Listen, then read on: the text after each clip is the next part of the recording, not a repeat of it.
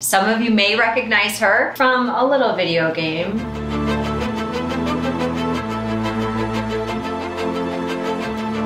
Hi, I'm Lia Montelongo. Welcome to Spiritual Warrior World Podcast. Joining me today is Kerri Hoskins, starting this podcast to open up the conversation about spirituality.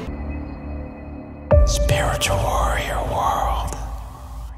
It's all okay. It's okay. Yeah. It's actually made me quite happy because I've had my sisters and stuff go, why, why do you want this diagnosis? I'm like, I don't want it. I just want to make sense of my life. Yeah. And I finally have.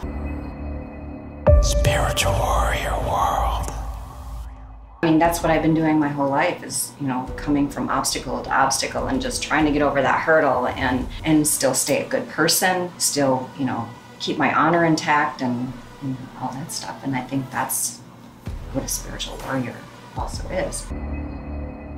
Spiritual Warrior